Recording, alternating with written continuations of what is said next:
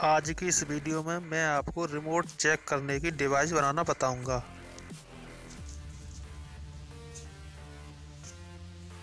सबसे पहले हम एक सेंसर लेंगे। उसके बाद एक एलईडी और एक वन के की रेजिस्टेंस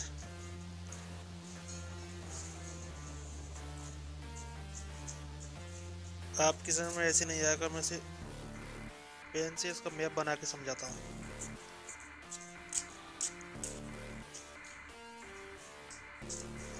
देखो ये हो गया हमारा सेंसर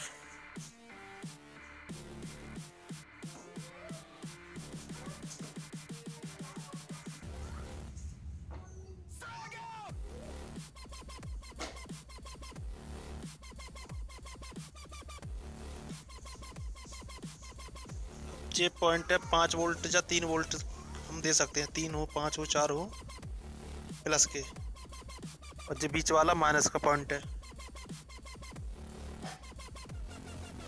और ये आई आर, जिससे रेंज आती है।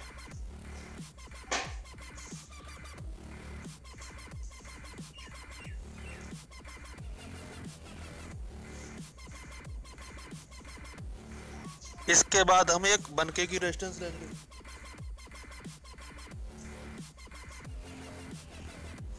और एक ये एलईडी एलईडी को बनके की रेजिस्टेंस से कनेक्ट करेंगे। और दूसरा इसका माइनस वाला सिरा जो है आईआर से कनेक्ट कर देंगे।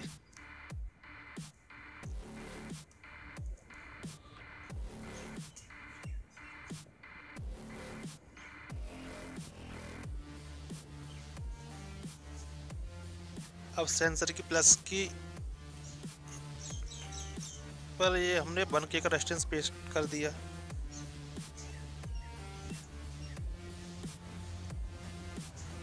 और ये सेंसर के आईआर पर एलईडी का माइनस का पॉइंट पेस्ट कर दिया।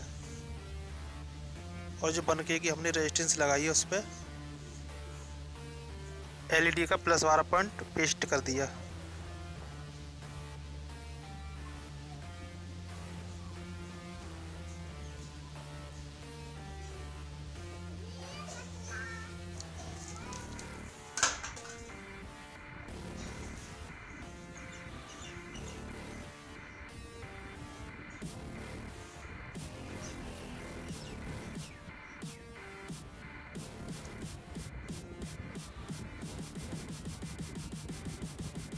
तीन वोल्टेज की बैटरी है हमारे पास, सेल, दो सेल का सीरीज़ है।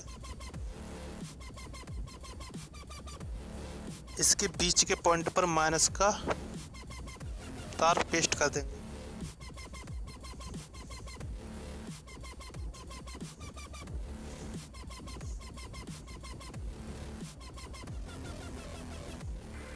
दूसरा पॉइंट जहाँ रेजिस्टेंस लगा हुआ है, उस पर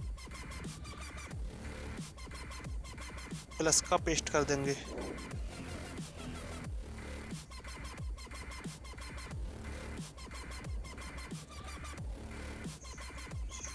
अब जी हमारी डिवाइस रिमोट टेस्ट करने के लिए रेडी है।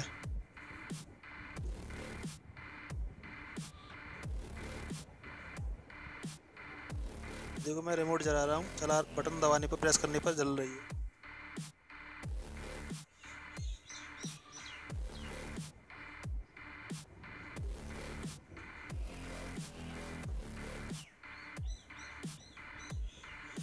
इससे कोई भी रिमोट हम चेक कर सकते हैं।